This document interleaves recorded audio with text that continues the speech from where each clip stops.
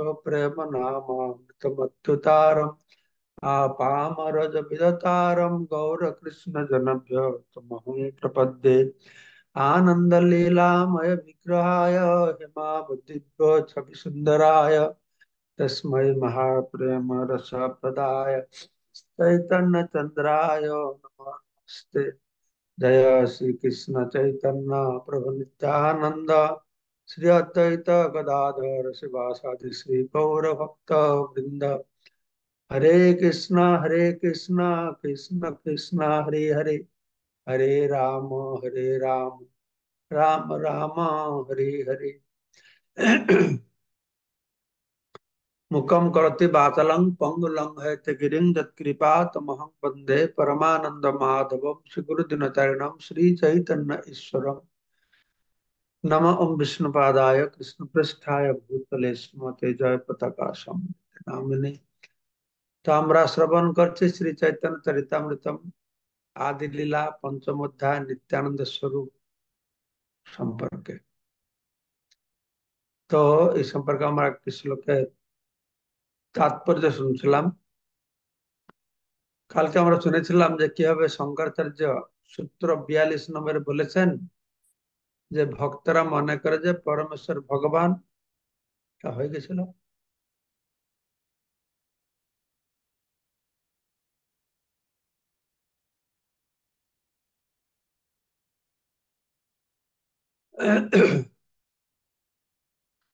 মনে করে শঙ্কর্ষণ নামক কর্তা জীব থেকে প্রদ্যুম্ন ইন্দ্রিয়ের জন্ম হয়েছে।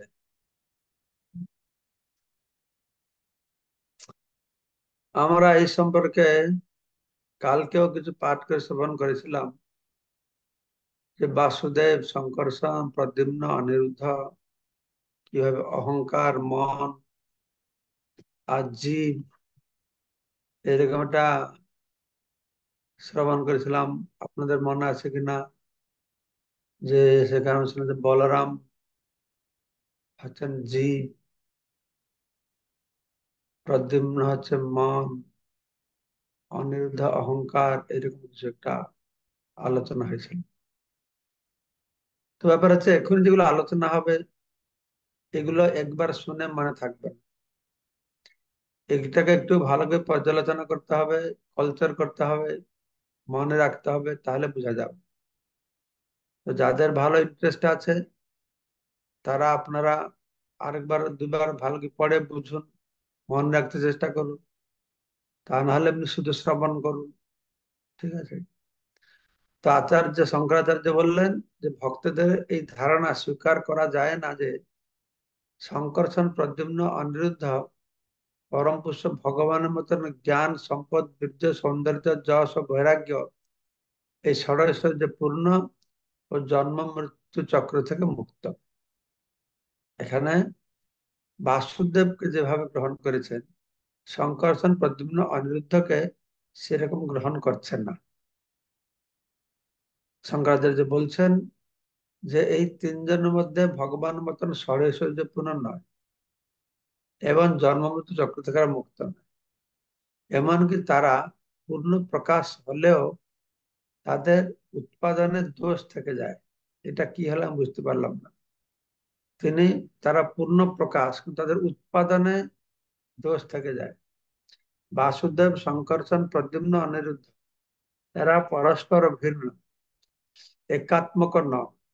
অথচ সকলেই সমদর্শী এবং ঈশ্বর। এই অর্থ যদি অভিপ্রেত হয়, তাহলে অনেক ঈশ্বর স্বীকার করতে হয়। বাসুদেব শঙ্কর্ষণ প্রদ্যুম্ন, অনিরুদ্ধ এরা পরস্পর ভিন্ন একাত্ম ন অথচ সকলেই সমধর্মীয় ঈশ্বর। এই অর্থ যদি অভিপ্রেত হয়, তাহলে অনেক ঈশ্বর স্বীকার করতে হয়। বহু সংখ্যক ঈশ্বর স্বীকার করা নিষ্প্রয়োজন কেননা সর্বশক্তিমান এক ঈশ্বর স্বীকার করলে যথেষ্ট। উপরন্তু, বহু সংখ্যক ভগবানের অস্তিত্ব স্বীকারের দ্বারা ভগবান বাসুদেবের একম একম অদ্বিতীয় অদ্বিতীয় হানি হয়। যদি মনে নেওয়া হয় যে এই চতুর্বিহ ভগবানের সমপর্যায়ভুক্ত, এবং তারা সকলেই সমধর্মী, তাহলেও উৎপত্তি অসম্ভব দোষ পরিহার করা যায় কারণ প্রত্যেকেই অস্তিত্বে কোনরূপ আত্মীয় না থাকলে বাসুদেব থেকে সংকর্ষণের সংকর্ষণ থেকে প্রদ্যুম্নের প্রদ্যুম্নের হ্যাঁ থেকে অনিরুদ্ধ জন্ম হতে পারে না। কার্য ও কারণের মধ্যে কোনো বৈশিষ্ট্য আছে তা স্বীকার করতে হবে। যেমন মূর্তিকা থেকে ঘট প্রস্তুত করা যায়। সুতরাং এই ক্ষেত্রে মৃত্তিকা হচ্ছে ঘটের কারণ। এবং ঘট হচ্ছে মৃত্তিকার কার্য। পৃথকত্ব না থাকলে কোনটি কার্য, কোনটি কারণ তার নির্দেশ করতে পারা যায় না। আর তাছাড়া পঞ্চরাত্র সিদ্ধান্তের অনুগামীরা বাসুদেব শঙ্করসন প্রদ্যুম্ন অনুরুদ্ধের মধ্যে জ্ঞান ও গুণের কোন তারতম্য রয়েছে বলে স্বীকার করে না। ভক্তরা পক্ষান্তরে বৃহ চতুষ্টকে সবিশেষ বাসুদেব বলে মনে করেন। ভগবানের বৃহ কি চতুর্সংখ্যায় পর্যাপ্ত? অবশ্যই তা নয়। ব্রহ্মা থেকে শুরু করে একটি ক্ষুদ্র পিপিলিকা পর্যন্ত সমগ্র জগৎ ভগবানের বিহ। এই তত্ত্ব শ্রুতি স্মৃতি উভয় শাস্ত্রে প্রমাণিত হয়েছে। শঙ্করাচার্য আলো আরও বলেছেন পঞ্চরাত্র আদি শাস্ত্র অনুসরণকারী ভক্তরা বলেন যে, ভগবানের গুণ এবং গুণী রূপে স্বয়ং ভগবান অভিন্ন। কিন্তু ভগবত, ভাগবতবাদীরা কীভাবে বলেন যে, জ্ঞান, ঐশ্বর্য, বল, যশ, সৌন্দর্য, বৈরাগ্য, এই ছয়টি গুণ ভগবান বাসুদেব থেকে অভিন্ন? সেটি কখন সম্ভব নয়। বাসুদেব সংকর্ষণ প্রদ্যুম্ন অনিরুদ্ধ এই চতুর্বিহ প্রসঙ্গে ভগবত ভক্তদের মতবাদের বিরুদ্ধে শঙ্করাচার্য যে অভিযোগ করেছেন শিল রূপ গোস্বামী লঘু ভাগবতামৃত গ্রন্থে তার খণ্ডন করেছেন। তিনি বলেছেন যে নারায়ণের এই চারটি প্রকাশ পরব্যমে মহাবস্ত নামে প্রসিদ্ধ। তাদের মধ্যে বাসুদেব ধ্যানের দ্বারা হৃদয়ে উপাসিত হন। কেননা তিনি হচ্ছেন হৃদয়ের উপাস্য দেব। শ্রীমদ ভাগবতে সেই কথা বর্ণিত হয়েছে। দ্বিতীয় বিহ সংকর্ষণ বাসুদেবের অংশ বা বিলাস প্রকাশ এবং সমস্ত জীবের উৎস বলে। বাসুদেব হলো পরমাত্মা আর সংকর্ষণ হলো সমস্ত জীবের উৎস বলে কখন কখন তাকে জীব বলা হয়। তো বাসুদেবকে, সংকর্ষণকে জীব কেন বলা হয়? তিনি জীবের উৎস। আর বাসুদেব হচ্ছেন পরমাত্মা। সংকর্ষণের অঙ্গকান্তি অসংখ্য পূর্ণ চন্দ্রের শুভ্র কিরণ থেকে মধু। তিনি অহংকার তত্ত্ব রূপে পূজিত হন। এখানে আবার সংকর্ষণকে অহংকার তত্ত্ব বলা হচ্ছে। তিনি অনন্ত দেবে তার ধারণা শক্তি আরোপ করেছেন। অনন্ত দেবের মধ্যে এই সংকর্ষণ ধারণা শক্তি মানে তিনি বিশ্ব ব্রহ্মাণ্ডকে ধারণা করছেন। তিনি রুদ্র, অধর্ম, অহি, অন্তক, মৃত্যুর অধিষ্ঠাতা যমরাজ এবং অসুরদের অন্তর্জামী রূপে জগতের সংহার কার্য সম্পাদন করেন। তো তিনি অনন্তদেব, তিনি অধর্ম। এটা কোন কারণ বলা হলো আমি জানি না, তো স্পেকুলেশন করতে পারি। অধর্ম বা কলি, সে হচ্ছে বলরামের ভক্ত, বলরামের পার্শ্ব। সেই হিসাবে তো বলা হতে পারে। অহি সর্প বলা যাবে তিনি অনন্ত রূপে। আর অন্তক তিনি যমরাজ রূপে হ্যাঁ আর অসুরদের অন্তর্জামী হ্যাঁ সবার অন্তর্জামী তিনি। কিন্তু অসুরদের অন্তর্জামী রূপে তিনি জগতের সংহার কার্য সম্পাদন করেন তারপরে দ্বিতীয় বিহ হয়ে গেল শঙ্করসন বাসুদেব। তৃতীয় প্রকাশ, দ্বিতীয় হয়ে গেল, তৃতীয় প্রকাশ আছেন প্রদ্যুম্ন শঙ্করসন থেকে প্রকাশিত হল। প্রথম বাসুদেব থেকে শঙ্করসন এখন শঙ্করসন থেকে প্রদ্যুম্ন। বাসুদেব হলো পরমাত্মা শঙ্করসন হচ্ছেন জীব, ঠিক আছে? আরও এই শঙ্করসন হচ্ছে জীব জীব বলা আছে, আর অহংকার তত্ত্ব বলা আছে আচ্ছা তবে তৃতীয় প্রকাশ হচ্ছে প্রদ্যুম্ন, যিনি শঙ্করসন থেকে প্রকটিত হলেন তো যারা বুদ্ধিমান ব্যক্তি বুদ্ধি তত্ত্ব রূপে প্রদ্যুম্নের উপাসনা করেন, তাহলে এইভাবে বুঝতে হবে যে বাসুদেব পরমাত্মা শঙ্করসন অহংকার, প্রদ্যুম্ন হচ্ছেন বুদ্ধি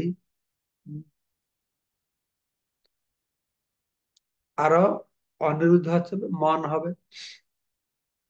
লক্ষ্মী দেবী ইলাবৃত বর্ষে তার মহিমা কীর্তন করতে করতে পরম ভক্তি সহকারে তার পরিচর্যা করে। তার অঙ্গকান্তি কখনো সুবর্ণের মতো, কখন নবীন নীল জলধারের মতো। তিনি বিশ্ব সৃষ্টির নিদান এবং কন্দর্পের মধ্যে তিনি সৃষ্টি শক্তি নিহিত করেছেন তো এটা হলো প্রদ্যুম্ন সম্পর্কে বলা হচ্ছে। প্রদ্যুম্ন। তো প্রদ্যুম্ন সম্পর্কে বলা হচ্ছে যে লক্ষ্মী দেবী ইলাব্রত বর্ষে তার মহিমা কীর্তন করেন এবং তার সেবা করেন প্রদ্যুম্ন। প্রদ্যুম্নের অঙ্গকান্তি কখন সুবর্ণের মতন, কখন নীল মেঘের মতন। তো প্রদ্যুম্ন, তিনি বিশ্ব সৃষ্টির নিদান। আর প্রদ্যুম্ন যে কামদেব কন্দর্প, তিনি প্রদ্যুম্ন থেকে এসেছেন। তো সেই কন্দর্প রূপে জীবের কাম ভাব সৃষ্টি করছেন। তারই নির্দেশ অনুসারে প্রজাপতি, দেবতা, মানুষ আদি সমস্ত প্রাণী সৃষ্টি কার্য সম্পাদন করেন। তো এর পিছনে প্রদ্যুম্নের একটা বিরাট ভূমিকা রয়েছে তো প্রদ্যুম্নকে বুদ্ধি তত্ত্ব বলে বর্ণনা করা হচ্ছে বুদ্ধিমানরা বুদ্ধি তত্ত্ব রূপে বুদ্ধি তত্ত্ব রূপে বর্ধমান উপাসনা করেন তারপরে চার নম্বর হচ্ছে অনিরুদ্ধ অনিরুদ্ধ মনীষদের দ্বারা মনস্তত্ত্বে উপাসিত হয় তাহলে বাসুদেব পরমাত্মা তত্ত্ব, আর শঙ্করসন হচ্ছেন অহংকার অহংকার মন বুদ্ধি অহংকার। মনতত্ত্ব হচ্ছেন অনিরুদ্ধ, বুদ্ধি তত্ত্ব হচ্ছেন প্রদ্যুম্ন, অহংকার তত্ত্ব হচ্ছেন সংকর্ষণ ঠিক আছে? তো এই অনিরুদ্ধের অঙ্গ কান্তি হচ্ছে মেঘের মতো। তিনি সৃষ্টিকে রক্ষা করেন। তিনি সৃষ্টিকে রক্ষা করেন। তো প্রদ্যুম্ন তিনি সৃষ্টি করেন। আর অনিরুদ্ধ সৃষ্টিকে রক্ষা করেন। তিনি ধর্ম, মনু ও দেবতাদের অন্তর্জামী রূপে জগতের পালন করেন যেরকম যেরকম, অনন্ত শঙ্কর্ষণ তিনি অনন্ত দেব তার তিনি রুদ্র, অধর্ম, সর্প, যম অশুদ্ধের তিনি অশুদ্ধের অন্তর্জন রূপে সংহার কার্য করে।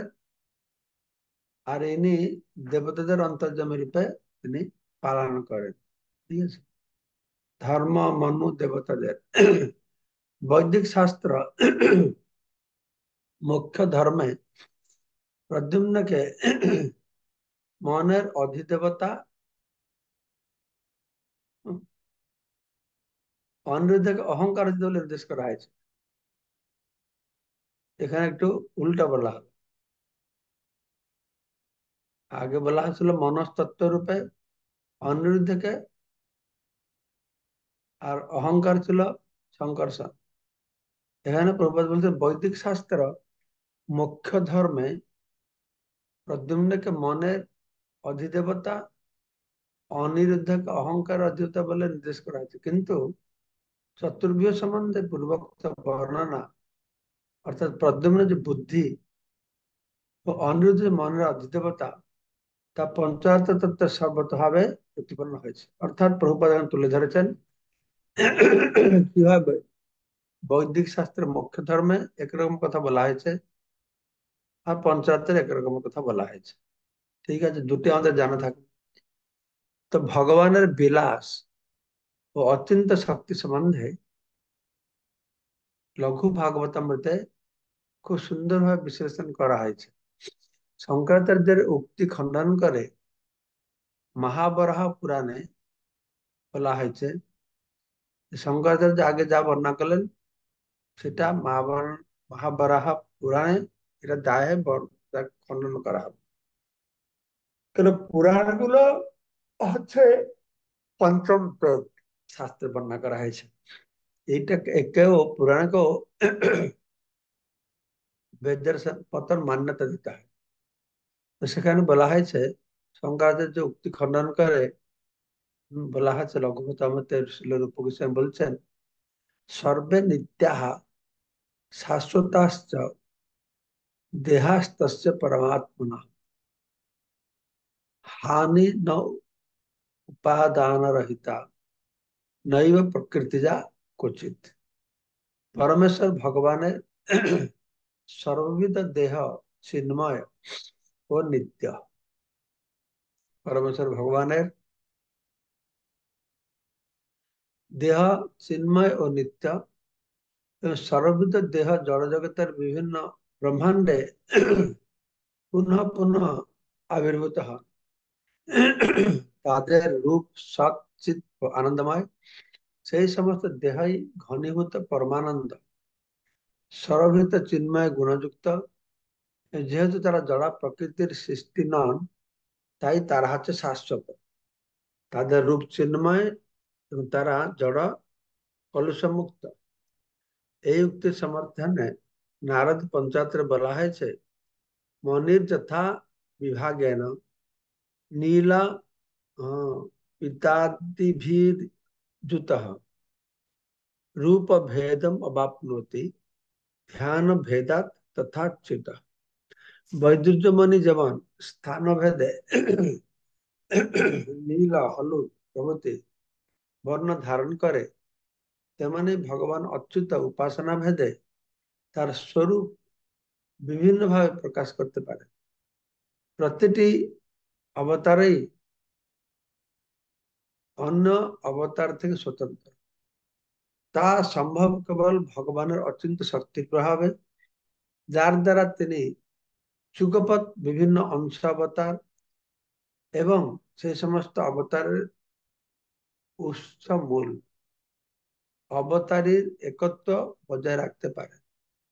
তার অত্যন্ত শক্তি প্রভাবে তার পক্ষে কিছুই অসম্ভব নয়। তিনি কার্য হতে পারেন, তিনি কারণ হতে পারেন, তিনি অবতারের উৎস হতে পারেন অবতার অংশ হতে পারেন, সবকিছু হতে পারেন। শ্রীকৃষ্ণ এক ও অদ্বিতীয় কিন্তু বিভিন্ন রূপে তিনি নিজেকে প্রকাশ করেছেন সেই সম্বন্ধে ভাগবতের শ্রীমদ ভাগবতের দশম স্কন্ধে নারদ বলেছেন চিত্রং বত্তদে একেন বপুষা যুগপৎ পৃথক গৃহেশু দ্রষ্টা সহস্রম স্ত্রিয় এক উদ্যবহত তো নারদমণি তিনি বলছেন ভাগবতে উনসত্তর অধ্যায় দুই নম্বর শ্লোকে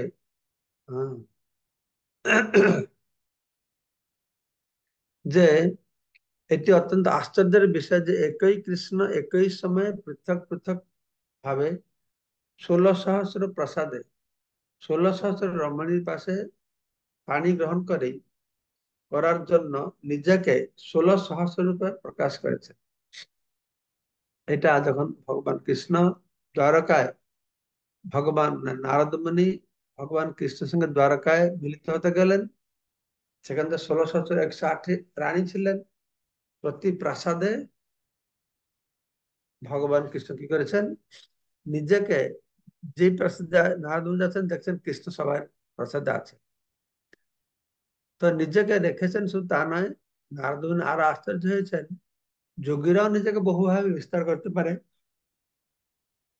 তারা আট আটটি রূপে বা পঞ্চাশটা রূপে মানে প্রকাশ করতে পারে। এক হাজার দশ, ষোলো হাজার প্রকাশ করতে পারে। একটা পার্থক্য আছে, যোগীরা নিজেকে যত প্রকারে যতভাবে প্রকাশ করল ওরা সবাই প্রতিটি প্রকাশে এক রকমের কাজ করে। কিন্তু নারদমণি দেখলেন, কৃষ্ণ এক মহিষীর সঙ্গে হয়তো পাশা খেলতেন, তারপরে গেছেন একই সঙ্গে। এক মহিষীর বাড়িতে তিনি স্নান করছেন, আর এক প্রসাদ দেখছেন, এক মহিষীর সঙ্গে গল্প করছেন খাচ্ছেন। তো এটা তাকে খুব আশ্চর্য লেগেছে। পদ্মপুরাণ থেকে একটি শ্লোক উদ্ধৃত থেকে বলা আছে সদেব বহুধা ভূত্বা নির্গুণ পুরুষোত্তম একই ভূয় পুনঃ সেতে নির্দোষ হরিরাধিকৃত সেই নির্গুণ নির্দেশ আধিকর্তা পুরুষোত্তম শ্রীহরি বহুরূপ হয় পুনরায় এক রূপে তিনি শয়ন করেছেন ঠিক আছে আজকে আমরা এই পর্যন্ত পাঠ করব যদি কার কিছু বলার থাকে আপনি বলতে পারেন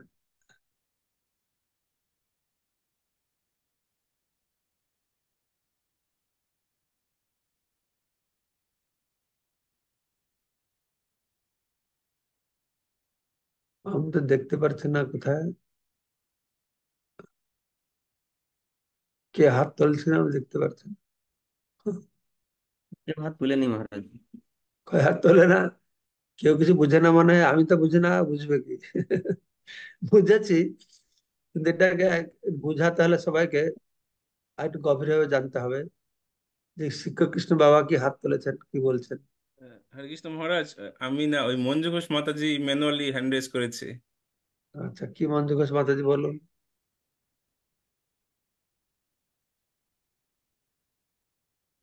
ওনাকে অনমিউট করো। হরে কৃষ্ণ মহারাজ অমৃতময় ক্লাসে মহারাজ শুনতে পাচ্ছেন? হ্যাঁ শুনতে পাচ্ছি। হরে কৃষ্ণ মহারাজ অমৃতময় ক্লাসের জন্য ধন্যবাদ। আপনার রাতুর জন্য শতকোটি প্রণাম। বলছি মহারাজ আমি চৈতন্য চরিতামৃত এনেছি ইস্কন থেকে খরিদ করেছি। এবার কীভাবে কালকে কোন শ্লোক থেকে পড়ে আসব, সেটা যদি কৃপা করে আমাকে একটু বলেন।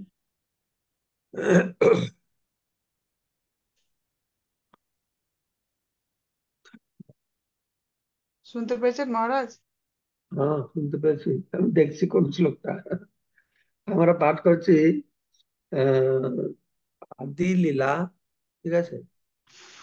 আদি লীলা থেকে পাঠ করছি, পঞ্চম পরিচ্ছদ, ঠিক আছে? একচল্লিশ নম্বর শ্লোক।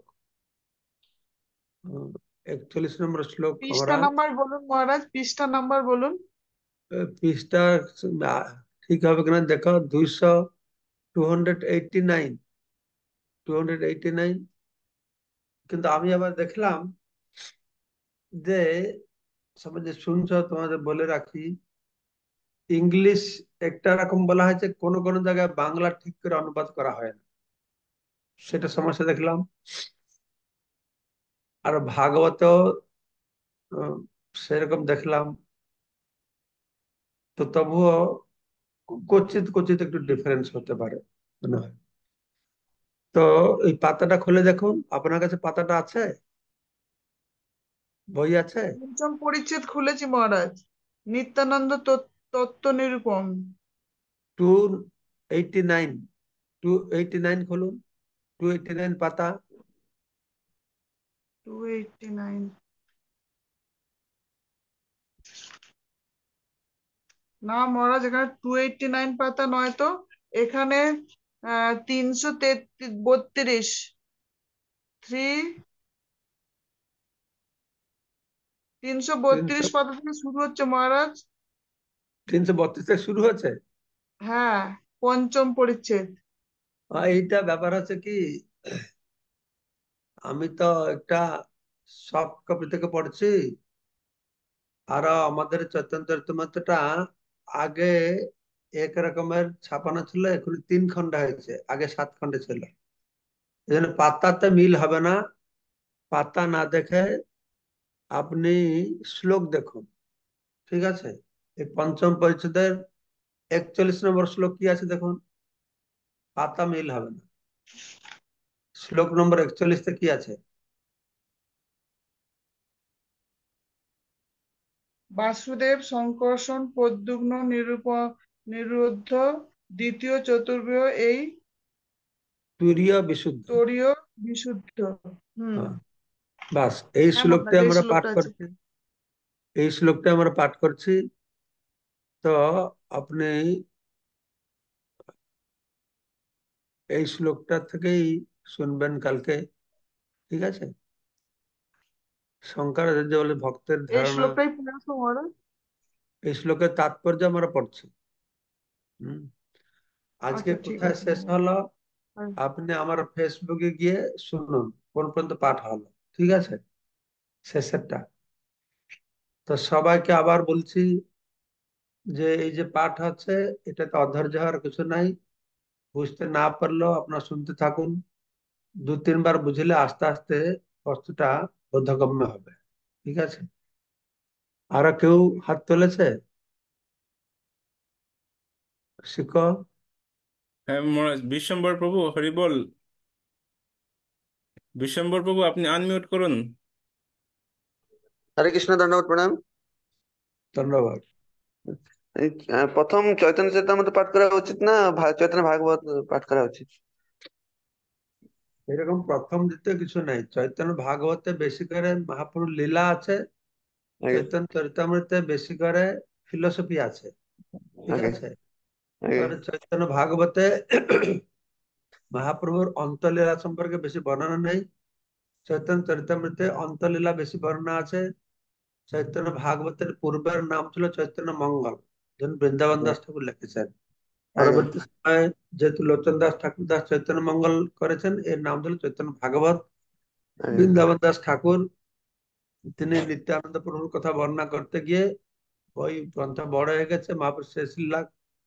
তিনি লিখতে পারেননি তাই বৃন্দাবনের গোস্বামীদের অনুরোধে কৃষ্ণদাস কবিরাজ গোস্বামী চৈতন্য চরিতামৃতে অন্তলীলাটা বেশি বর্ণনা করেছেন মানে শেষের দিকে আরও ফিলোসফি বেশি দেওয়া হয়েছে দর্শন আপনি দুটোই পড়ুন দুটোই জানবেন কি অসুবিধা আছে। আমরা গীতা একটু পড়ব ভাগবত যদিও বলা হয়েছে প্রথমে গীতা পড়ে বুঝো তারপরে ভাগবত পড়ো তারপরে চৈতন্য চরিতামৃত পড়ো। আমরা তো কৃষ্ণকে ভগবান বলেই গ্রহণ করছি। ভাগবত প্রথম থেকে বলতে বারণ করা হয়েছে এই জন্য যারা গীতা পড়ে এটাকে বুঝবে কৃষ্ণই ভগবান। তখন ভাগবতে প্রবেশ করলে এটা ভালো হবে। কিন্তু আমরা যেহেতু সবাই গ্রহণ করি করেছে কৃষ্ণই ভগবান যে আমরা গীতা পড়ব সকালে ভাগবত পড়ব সন্ধ্যায় গীতা পড়ব দুপুরে চৈতন্য চরিতামৃত চৈতন্য ভাগবত পড়ব বাস অসুবিধা কি আছে? সব পড়ব। ঠিক আছে? আরও কোনো কেউ আছে? না মহারাজ আর কেউ নেই। আজকে এখানে ঠিক আছে তাহলে। সবাইকে অসু- আমার পেজটা খুলছে না কেন? ঠিক আছে তাহলে এটাকে কি করে তুমি শেষ করো আমি তো শেষ করতে পারছি না বাঞ্ছা কল্পতরুহস্য কৃপা সিন্ধু ভয়বচ পতিতানাং পাবনেভ্যো পাবনেভ্যো বৈষ্ণবেভ্যো কৃষ্ণ প্রভাত বিজয়